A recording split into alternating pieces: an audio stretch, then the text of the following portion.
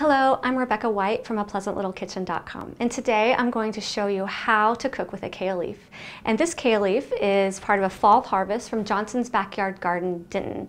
It's a local farm that has local CSA boxes that are delivered to you weekly or bi-weekly. And this kale leaf is part of their fall harvest. Sometimes when you get a CSA box, you don't know what to do with your vegetables.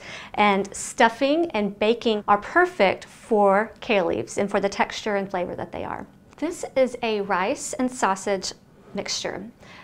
Garlic and onion has been sauteed in a saute pan. Then add the Italian sausage. After that is cooked, add 3 quarter cups of cooked rice to the sausage and onion and garlic mixture. First, take a blanched kale leaf that has been chilled and patted dry and fold it lengthwise, hot dog style, and take the thick stem and point it towards yourself. Taking my knife,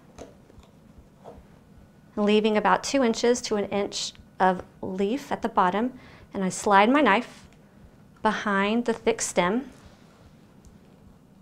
to remove it from the leaf.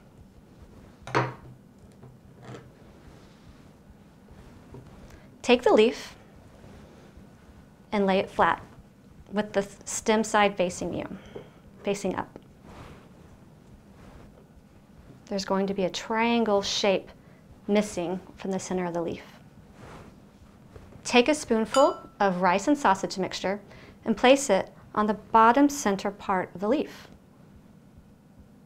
Leave a little bit of the leaf to be able to fold it over the mixture and take the sides and fold it over as well and adjust the leaf as you roll.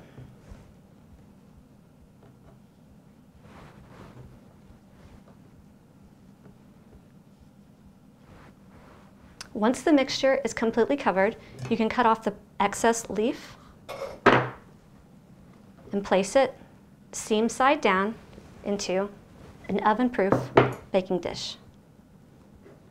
Hope you've enjoyed this pleasant little lesson. I'm Rebecca White with thepleasantlittlekitchen.com. Happy cooking!